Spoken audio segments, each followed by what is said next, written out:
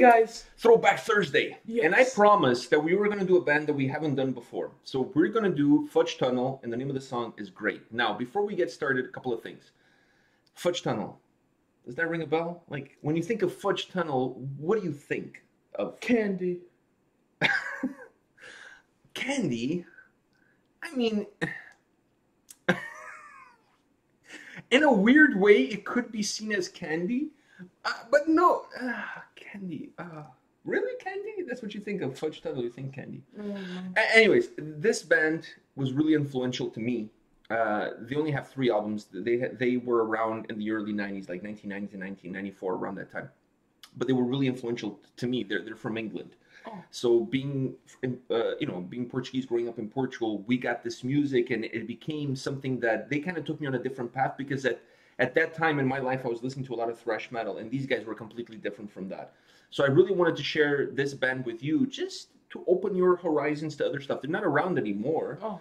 but you know, um, one of their guys, Alex Newport, he went on and he did a side project with Max Cavalera from Sepultura called Nail Bomb, which we haven't checked on the channel yet, but we will. We said we were going to. We will because I really like Nail Bomb because Nail Bomb is a mixture of, of Sepultura's thrash metal with these guys, which is more like a punk. There's more of a punk vibe to it, right? Oh. So it's a mixture of thrash metal with punk. That's Nail Bomb. These guys are more punk alternative, you know, sludge. Like there's a bunch of the, in, industrial, if you will. There's a lot of different mixtures. These guys were really in the forefront of that movement around that time in the early 90s. So, are you ready? Yeah. What's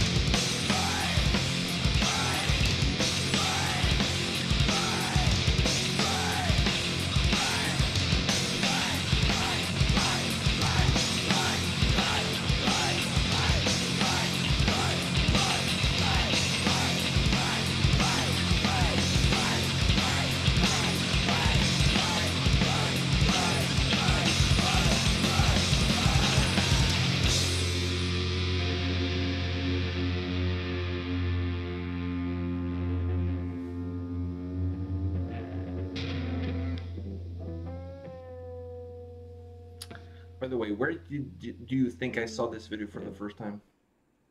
Headbangers Ball. You're right. Every video on Throwback Thursday. so, what did you think of Fudge Tunnel? I like the bass. That's one of the reasons I. I mean, two reasons I picked this song. Really, one was because this is the song that introduced me to the band. I, I had never heard of the band. I saw this video and automatically fell in love with with it. It, it was like. Was a heavier, more aggressive version of Nirvana, if you will. Yeah. If you will, you know what I mean. So, and at that time, I was listening to a lot of Nirvana. But this was the song that introduced me to the band. That was reason number one. And reason number two is because of the bass. The ba- The bass is killer in this song. you hear it a lot, and it's. I love that because the guitar drops down. He's just singing, and he has like this really melancholic voice. yeah. So he's singing, and all you hear is the is the the, the drums keeping the bass line and and the bass.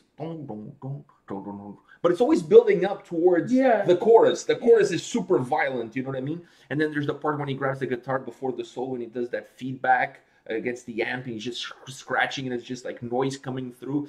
So it's so punk. It's so youthful. It's so rebellious, you know, against the system. So besides the bass, sorry, I completely sidetracked you there. Besides the bass, what did you think? I, I gotta say, the bass from the bass was like the We're rubbing, the, we're rubbing shoulders. was one of the highlights of the song. His voice was really good too, and yeah, it did remind me of Nirvana a little bit. Um, and those two together were really good. And I did like how after like the solo or after the chorus, he would drop in, and he just start singing, the bass would come in, and then right when the soul, right when the chorus came back, then he just picked up the guitar again. And yeah, it was like the, the chorus was packed such a punch. Yeah, Because that bass line was so mellowed out and his voice is so drawn out. And then when the guitar comes in, it's just like, woof. It's just like, it, it really like, it's just a burst of energy into Yeah. that song. I, I honestly, I really like, I really like, the, I like these guys, but I really like this song. I thought, to me, if you're going to be introduced to a band like this, especially because they're not around anymore, but I really want you to broaden your spectrum as far as bands are concerned and go back and listen to some of the older stuff. I think these guys is one of those guys that you you have to listen to them at least once just to see, you know, because they're kind of like they were important in that time period for the music that they created and and they influenced other bands. You know what I mean? So Yeah. I thought it was cool for you to check them out. All right. On that note, we will talk about Fudge Tunnel and the meaning behind the word Fudge Tunnel off camera, because we want to keep this a family show, if you will. I mean, I'm sure there's kids watching. So we'll talk about that later. But uh, guys, come back tomorrow. We'll have more videos tomorrow for you. See you guys. see you guys.